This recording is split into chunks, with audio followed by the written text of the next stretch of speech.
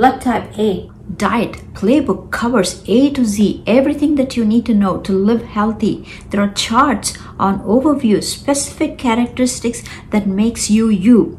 Weight loss superfoods, weight loss problem foods, portion recommendation, highly beneficial neutral and avoid foods, supplement advice, herbs and phytochemicals, exercise schedule and stress profile, three meal plans, natural alternate remedies for common ailments, 10 day diet challenge. In the description below, there are links to videos with more detailed information on all the topics. Your strengths are you adapt to changing situations very well, like new environment and diet. Your immune system preserves and metabolizes nutrients easily. Your weaknesses are your digestive tract is sensitive and your immune system is vulnerable because of which it opens up to microbial invasion. Your medical risks are heart disease, cancer, anemia, liver and gallbladder disorders, type 1 diabetes. Your diet profile is you're a vegetarian. You can eat vegetables, tofu, beans, legumes, grains, seafood, and fruit. Your weight loss key is you need to avoid meat, dairy, kidney beans, lima beans, and wheat. What is helpful to you is vegetable oil, soya foods, vegetables, and pineapple. The supplements you need to be taking are vitamin B12, folic acid, vitamin C, vitamin E, Hawthorn, Echinacea, quercetin, and milk thistle. The exercise you need to follow should be calming, centering, such as yoga and Tai Chi. Consult your doctor before taking any supplements. The supplements advice will help you to tone your immune system, supply that cancer fighting antioxidants, balance your microbiome, and strengthen your cardiovascular system. You have vitamin B12 deficiency. It's because of two reasons. The first reason is because it's found mostly in animal proteins and you don't do well with meat. The second reason is because you lack the intrinsic factor in the stomach, which helps to absorb B12.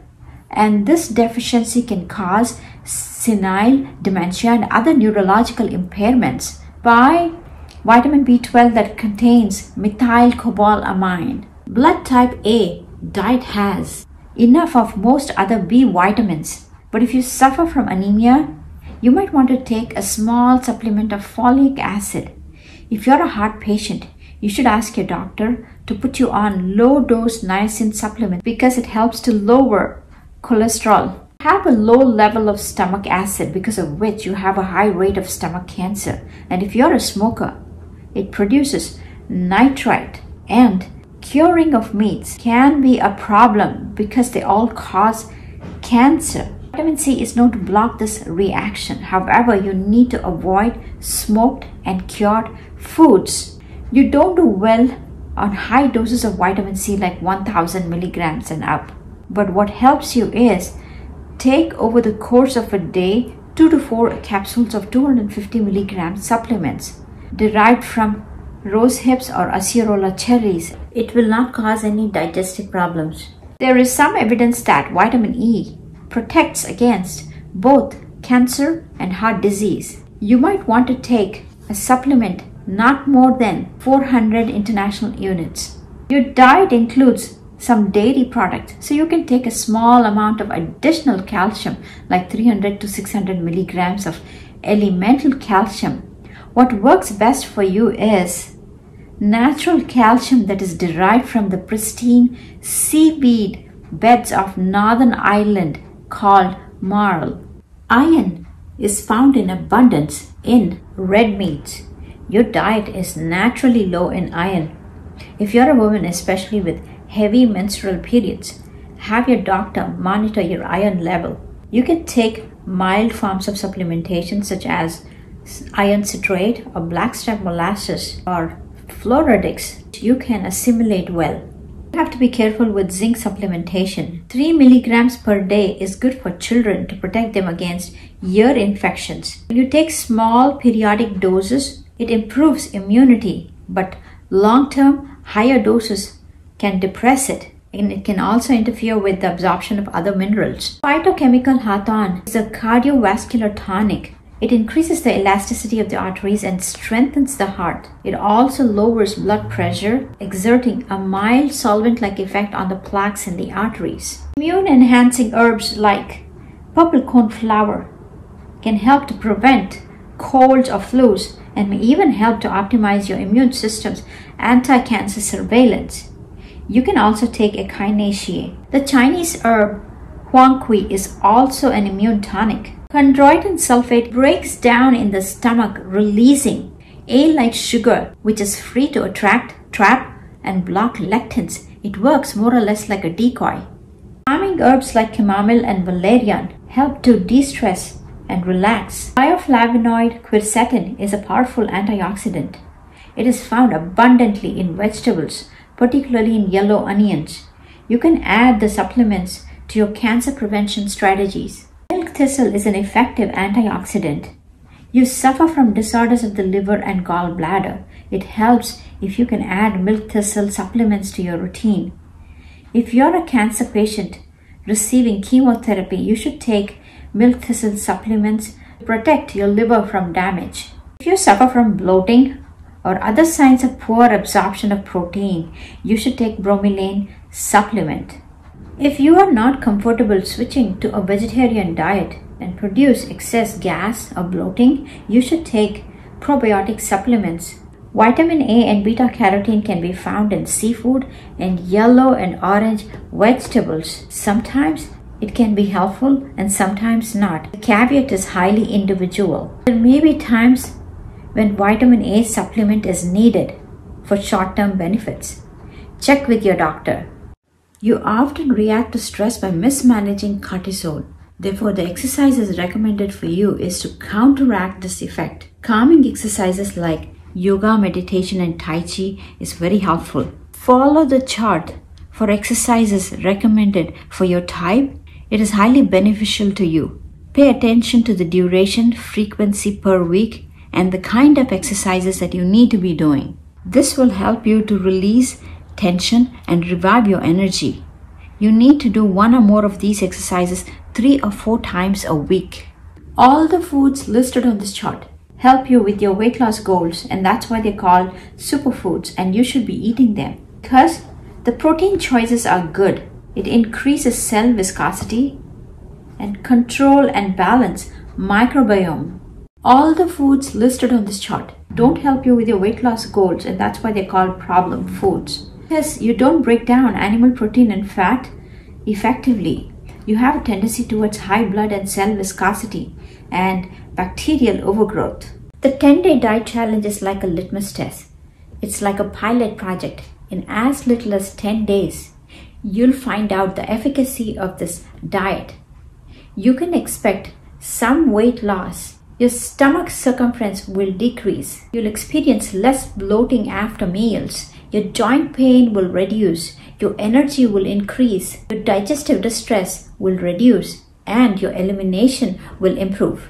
The first five days focuses on lectin detox, and the second five days focuses on balance and restoration. For occasional aches, pains, and irregularities, you should take natural alternate remedies which are available in different forms like teas, compresses, liquid tinctures, extracts, powders, and capsules. If your symptom is chronic, you need to seek medical attention. To make your own herbal tea, boil water and steep the natural herbs for about 5 minutes. Meal plan is to give you an idea of what your blood type diet should look like. Once you get used to it, you can plug in your own recipes of your choice if it is compatible. Portion size is only a recommendation. The neutral list of foods neither do good nor do they have any ill effects on your system. You can eat them occasionally for variety's sake. You should eliminate avoid list of foods from your diet. The avoid list, ham, pork, and bacon decreases microbiome diversity and encourages microbial imbalance. It's best to avoid everything that is listed under avoid list. Generally, all the foods under highly beneficial list are good to eat. In the highly beneficial list of seafood, red snapper and sardine enhance carbohydrate metabolism and help with weight loss. And foods like carp, cod, mackerel, Atlantic monkfish, perch, pickerel, walleye, pollock Atlantic, red snapper, salmon Atlantic wild, salmon chinook, salmon sockeye, sardine, trout rainbow wild, trout sea, whitefish and whiting increases your microbiome diversity and discourages microbial imbalance. The neutral list of foods neither do good nor do they have any ill effects on your system. You can eat them occasionally for variety's sake. In the avoid list, bass, striped, bluefish, eel, oyster, and tilefish decreases microbiome diversity and encourages microbial imbalance. Highly beneficial dairy and eggs, pecorino cheese, and Romanian urda increases microbiome diversity and discourages microbial imbalance. In the neutral list, ghee, clarified butter, increases microbiome diversity and discourages microbial imbalance. In the avoid list, some foods have more ill effects on your system than others. They are American cheese, camembert cheese, casein, cheddar cheese, Colby cheese, cottage cheese, cream cheese, Edam cheese, Emmental, Swiss cheese, Gorgonzola cheese, Gruyere cheese, half and half, milk cow, skim or 2%, milk cow whole, Monterey Jack cheese, Muniesta cheese, New Frashel cheese, provolone cheese, Roquefort cheese, Stilton cheese, string cheese, and whey protein. They decrease your microbiome diversity and encourage microbial imbalance. In the highly beneficial list of oils and fats, black blackcurrant seed oil, camelina oil, flaxseed linseed oil, and walnut oil enhance carbohydrate metabolism and help with weight loss. And in the list, blackcurrant seed oil, camelina oil, flaxseed linseed oil, olive oil, and walnut oil increase microbiome diversity and discourages microbial imbalance. The neutral list of foods neither do good nor do they have any ill effects on your system. You can eat them occasionally for variety's sake. In the avoid list, corn oil and peanut oil decreases microbiome diversity and encourages microbial imbalance. In the highly beneficial list of nuts and seeds, Peanut and walnut enhance carbohydrate metabolism and help with weight loss. And in the list, Chinese chestnut, flaxseed, peanut, peanut butter, peanut flour, pumpkin seed, and walnut increase microbiome diversity and discourage microbial imbalance.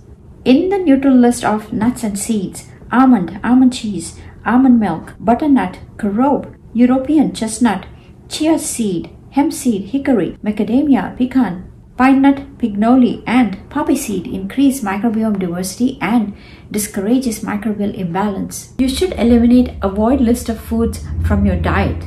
In the highly beneficial list of beans and legumes, great northern bean, soybean granules, lecithin, and soybean cheese enhance carbohydrate metabolism and help with weight loss. And in the list, black bean, lentil sprouted, natto, pinto beans sprouted, soybean sprouted, and soybean tempeh increases microbiome diversity and discourages microbial imbalance. The neutral list, butterbean and haricot wort bean increases microbiome diversity and discourages microbial imbalance.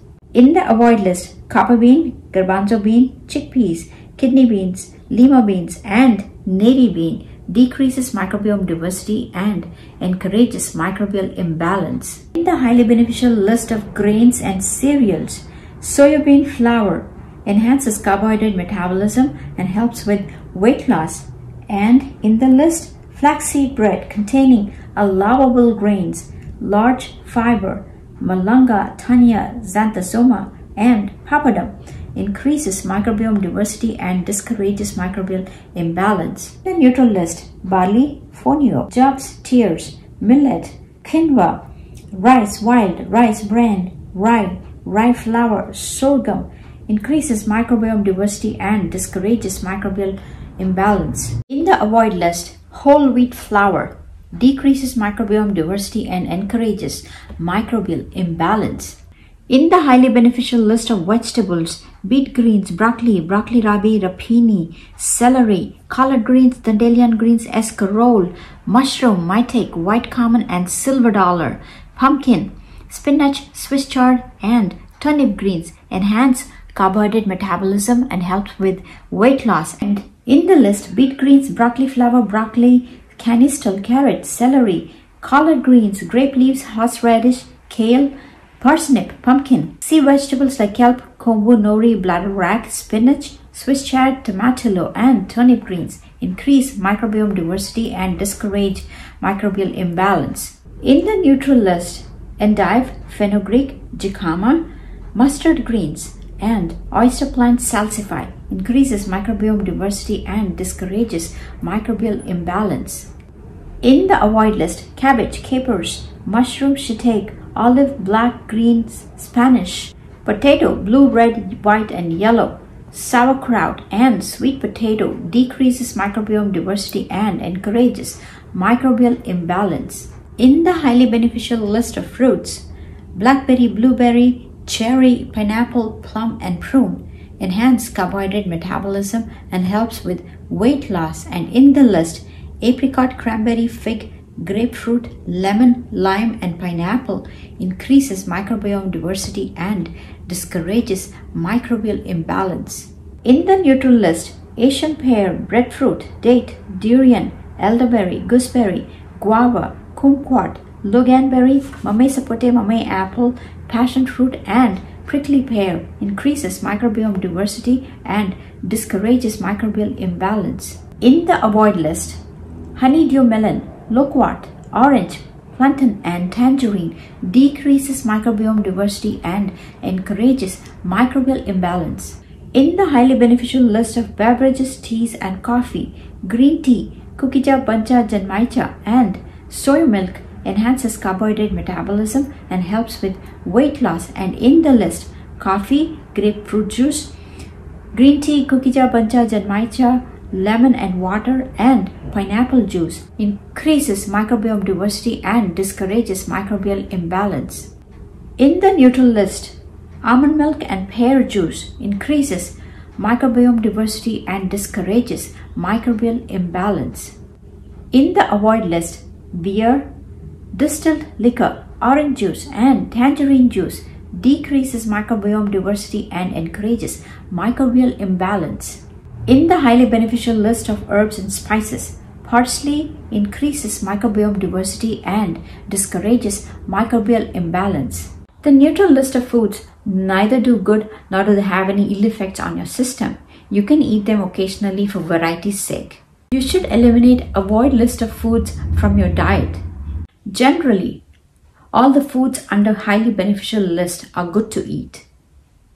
In the neutral list of agar decreases microbiome diversity and encourages microbial imbalance and in the list agave syrup, mustard wheat free, vinegar free, yeast, bakers and nutritional increases microbiome diversity and discourages microbial imbalance. In the avoid list carrageenan, gelatin, high fructose corn syrup, high maltose corn syrup, maltodextrin, ketchup, methyl cellulose, pickle relish, polysorbate 80, sodium carboxyl methyl cellulose, tragacanth gum, vinegar, all types, Worcestershire sauce decreases microbiome diversity and encourages microbial imbalance.